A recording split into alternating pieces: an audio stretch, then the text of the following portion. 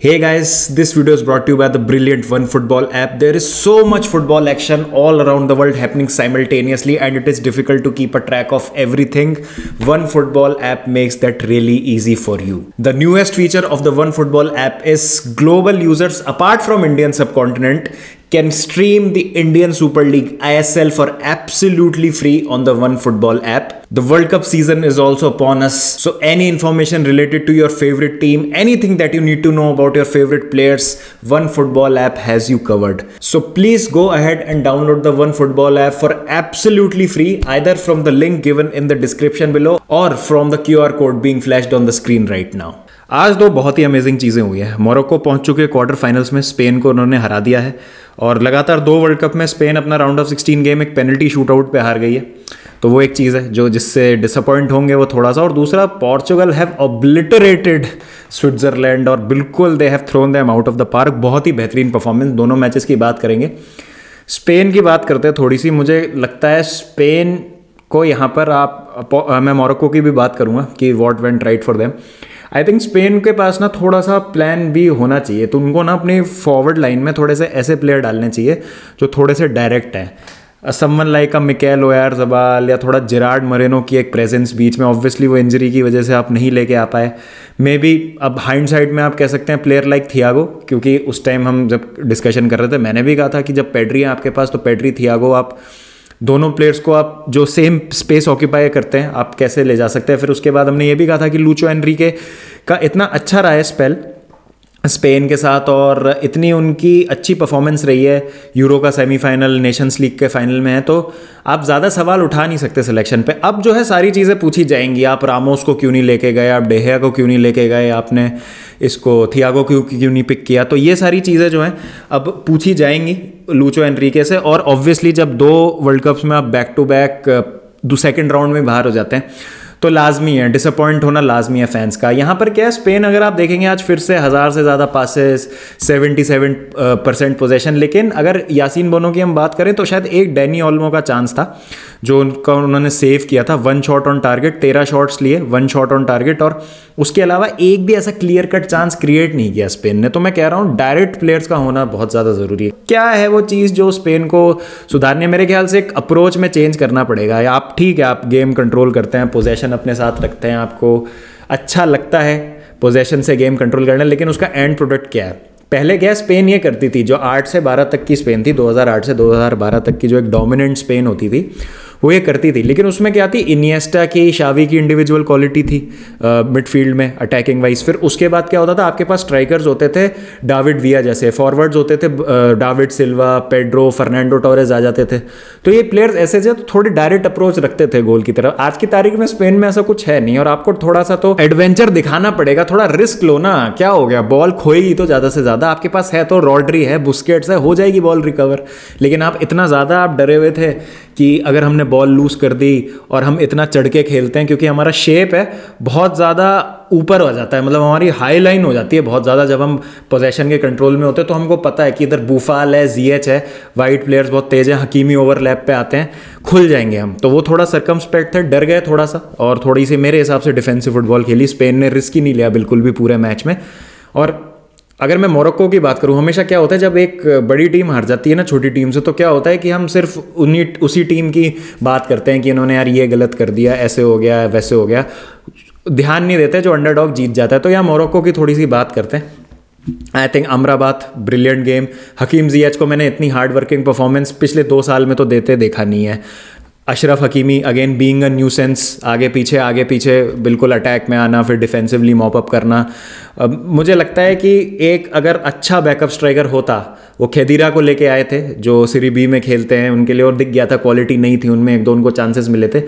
Morocco पहले ही game किल कर सकती थी, उनके पास इतनी पेस इतनी डायनामिज्म और इतना ज़्यादा एक्सप्लोजिवनेस है उनके पास specially on the wings they are very very quick on the counter attack जिसका जैसा मैंने कहा स्पेन वेरी थी। उनको पता था कि अगर रिस्क लेंगे बॉल जहाँ पे उन्होंने खोई मिडफील्ड में स्पेशली जिस तरीके से मैंने कहा अहमराबाद जिस तरीके से काम कर रहे थे रोमन साइज़ डिफेंस में अगेन एगर्ड हो गए रोमन साइज़ हो गए, दोनों की बहुत अच्छी चल रही थी। आज सेंटर बैक पार्टनरशिप मजुराई हो गए।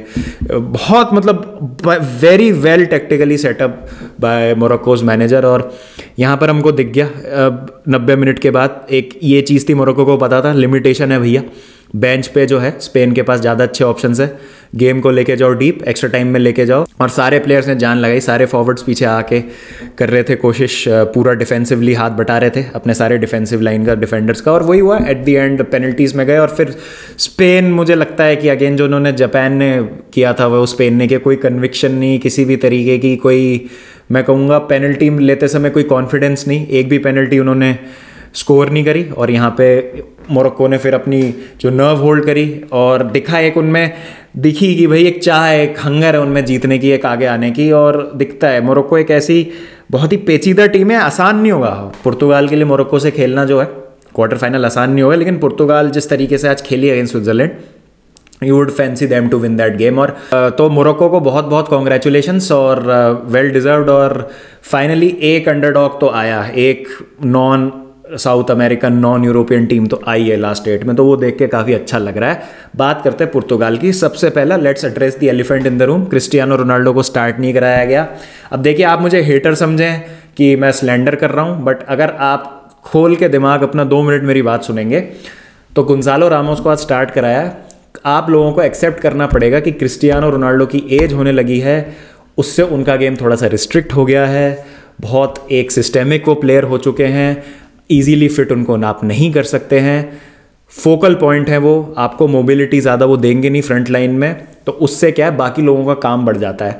यहाँ पर गोंजालो रामोस को आपने आज स्टार्ट कराया, बहुत मोबाइल स्ट्राइकर हैं, बराबर इन्वॉल्व हो रहे थे लिंकअप में और बिल्टअप में, जिससे इतना ज़्यादा जो है आज अटैकिंग आउटपुट दिखाया आज आपको पोर्चुगल का। और आते ही गोंजालो रामोस ने दिखाया, शानदार तीन फिनिशेस एक और गोल को कर सकते थे स्कोर यान सोमर ने बहुत अच्छा सेव किया था, लेकिन पहला गोल उनका यान सोमर को वहाँ से बीट करना बहुत ही ज़्यादा मुश्किल है। कोई हलवा नहीं है और मैं कह रहा हूँ, स्विट्ज़रलैंड को छः गोल मारना ना आसान बात नहीं है। कोई ऐसा मज़ाक नहीं किया आज पोर्चुगल ने। मतलब बहुत ही एक अच्छी टीम को जिसका मिडफील्ड बहुत अच्छा है। याका है, फ्रॉयर हैं और फिर फाबियन शहर और अकानजी हैं। तो it's a decent team it's a good team जो हमको दिखा था। ब्राज़ील के अगेंस्ट भी दिखा था, सर्बिया के अगेंस्ट भी दिखा था। उसको आप छः गोल ऐसे मज़ाक में मार देते हैं और आप पता नहीं कितने गोल स्कोर कर सकते थे। पोर्चुगल है वेल एंड ट्रूली अराइव्ड और जैसा मैंने अपने पिछले पोर्चुगल के रिव्यू में भी कहा था, जब उन्होंने उरुग्वे को हराया था, कि ये टीम अब एक बहुत अच्छे रन पे जा सकती है प्रॉपर एक कप टीम है, और फर्नांडो सेंटोस ने फिगर आउट भी कर लिया है and as hard as it is but this team can perform better and more dynamically without Cristiano Ronaldo in the starting lineup and as their main man मैंने बोल दिया ये, क्योंकि मुझे दिखा है ये। I have got the evidence it it is nothing against Ronaldo कोई हेट नहीं है रोनाल्डो के लिए. Is just the facts Ronaldo के आने से थोड़ा सा सिस्टम जो है, वो रिस्ट्रिक्ट हो जाता है. फ्लुएंसी जो है थोड़ी सी जो है कॉम्प्रोमाइज़ हो जाती है पोर्चुगल की. और आज हमको दिखा गुंजालो रामोस ने वो प्रोवाइड किया है, जो एक चाहिए होता है सिस्टम को, और जाओ फिलिक्स थोड़ा सा उनके साथ लिंकअप करके ब्रूनो हैं बर्नाडो हैं तो आगे पीछे होके इंटरचेंज करके पोजीशंस और बहुत जल्दी जो है ट्रांजिशन हो रहा था बॉल का। तो जो बंदा हैट्रिक मार दे उसको आप फिर अगले क्वार्टर फाइनल में नहीं बिठा सकते। सीधी सी बात है, इतना बड़ा मैच है जो, उसको आप नहीं बिठा सकते। तो आई डोंट थिंक सो कि रोनाल्डो स्टार्ट करेंगे मोरक्को के अगेंस्ट और अगर आप पोर्चुगल के फ़ैन हैं तो आपको भी यहाँ पे समझना पड़ेगा कि गुंजालो रामोस एक बहुत अब क्रूशल पार्ट बन जाएँगे टीम। बट आई नो यहाँ पे एजेंडा एक ड्राइव कर दिया जाएगा और सोशल मीडिया पे और हर जगह पे जो है इस चीज़ को एक अलग नरेटिव की तरह जो है ले लिया जाएगा। लेकिन आप खुद देखिए फैक्ट्स आपके सामने हैं और किस तरीके की आज फुटबॉल खेली है फाइनली फिगर आउट कर लिया है। Bold decision by Fernando Santos मैं कहूँगा विलियम करवालो को खिलाना उस डिस्ट्रॉयर रोल में वॉज़ अ मास्टर स्ट्रोक मेरे हिसाब से उनका बहुत अच्छा गेम था। एक बहुत जब अच्छी अटैकिंग परफॉर्मेंस होती है ना तो कभी कभी हम डिफेंडर्स और जो डिफेंसिव वर्क रेट प्रोवाइड करते लोग उनका कॉन्ट्रीब्यूशन भूल जाते हैं। तो मेरे हिसाब से विलियम कारवालो का भी बहुत अच्छा गेम था। Shout out to Pepe second oldest goal scorer बन गए हैं वर्ल्ड कप में और शायद oldest goal scorer in world cup knockouts भी बन गए हैं, वो मुझे फैक्ट चेक करना पड़ेगा। डेफिनेटली एक बहुत ही बढ़िया अचीवमेंट जब 39 ईयर्स की एज में यहाँ पर ऐसी फुटबॉल खेल रहे अपनी कंट्री के लिए ऐसे क्रूशल मैचेस में। तो आपको बहुत ज़्यादा अप्रिसिएशन मिलनी चाहिए। बट हाँ बात यहाँ पे क्रिस्टियानो रोनाल्डो की नहीं है, बात यहाँ पे पोर्चुगल की है।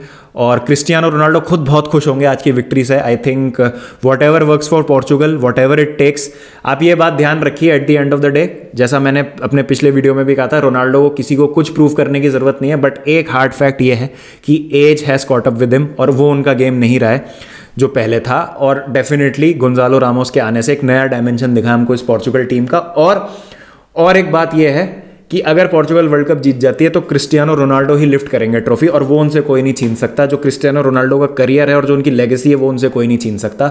और कोई ये नहीं बोल सकता कि क्रिस्टियानो रोनाल्डो किसी भी तरीके से कुछ कम अचीव किया उन्होंने अपने करियर में। तो इट्स नॉट अ स्लैंडर और a hate on Ronaldo it's just that कि उम्र का तकाजा है, जैसा हम कहते हैं। तो आप मुझे बताएँ कमेंट सेक्शन में, आपकी क्या राय है about Spain Morocco and how do you feel about Portugal's performance against Switzerland तो मिलते हैं फिर नेक्स्ट वीडियो के साथ, और फाइनली एक ब्रेक आ गया है तो दो दिन का ब्रेक है तो थोड़ा रेस्ट करेंगे, और उसके बाद फिर जो है क्वार्टर फाइनल्स की ओर अपनी कूच बढ़ाएँगे। तो मिलते हैं गाइस फिर नेक्स्ट वीडियो में, जब तक ध्यान रखें अपना टेक केयर एंड पीस